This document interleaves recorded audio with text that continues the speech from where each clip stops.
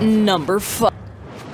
So coming in at the number five spot in Payday top five um, worst spots or hardest spots to find packages on Payday 2. So right here that I shoot um, is kind of hard to find, but in front of the couch is pretty easy to find, if you know what I mean. Because you really need to look for it for to be on that couch, but really you don't really need to look for it in front.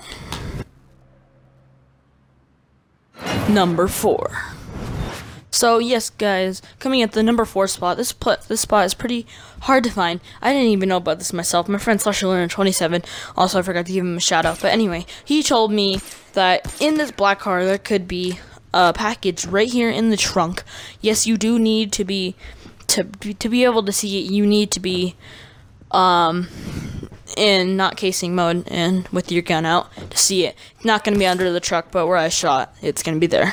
Coming in at our number three spot, um, we have behind this door that I'm shooting right there.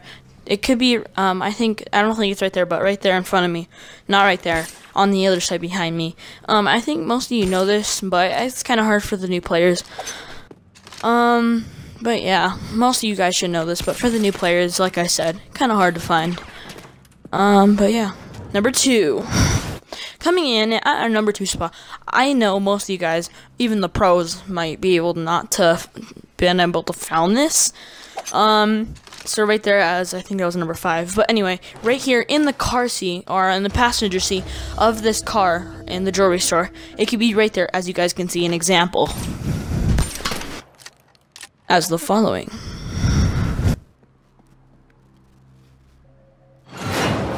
Number one.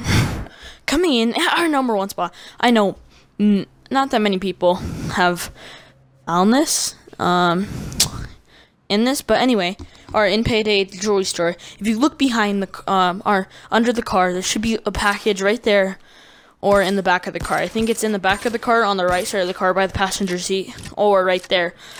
Um, I think it's the left side or the driver's seat, but yeah, I think most of you guys shouldn't know this